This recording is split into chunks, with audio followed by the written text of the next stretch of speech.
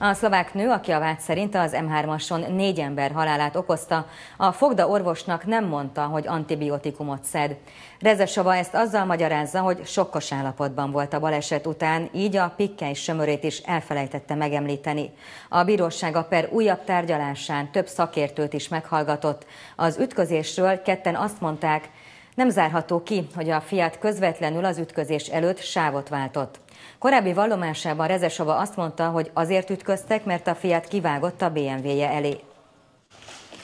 Orvost, katasztrófavédőt és több műszaki szakértőt hallgatott meg ezúttal a bíróság a Rezesova perben.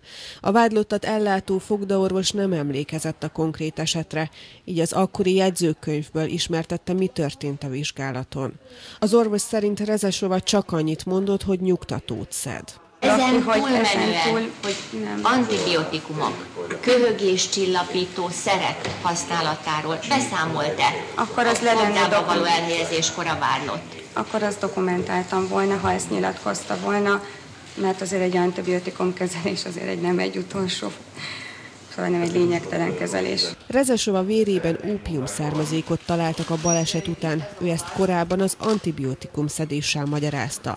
Most a tárgyaláson azt mondta, hogy túl zaklatott volt ahhoz, hogy az antibiotikum szedését említse. Azzal érvelt, ugyanezért a pikkely sömörét sem említette.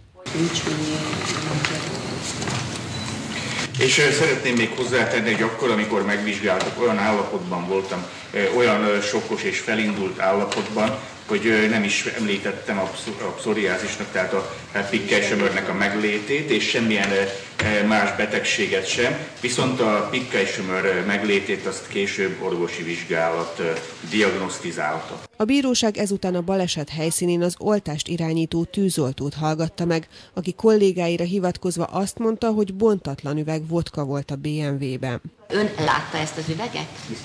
Láttam, igen, de én nem néztem meg közel. Az arra a tényre a saját tapasztalata alapján tud-e válaszolni, hogy ez egy bontott vagy bontatlan üveg? Saját tapasztalatból nem.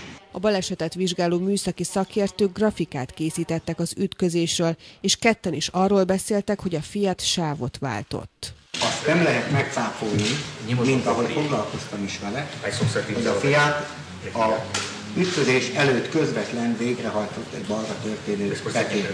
Fentartja-e azt az állítását, hogy hirtelen volt a sávváltás, ha fenntartja, ezt milyen műszaki adatok alapján teszi? Azt tartom fenn, hogy a sávváltás az ütközés előtt bekövetkezett. Rezesova a nyomozás idején azt vallotta, hogy a Fiat kivágott el, és emiatt történt az ütközés. A BMW egyébként kb. 170-nel hajtott. A bíróság most azt vizsgálja, hogy kisebb sebességgel elkerülhető lett volna az ütközés.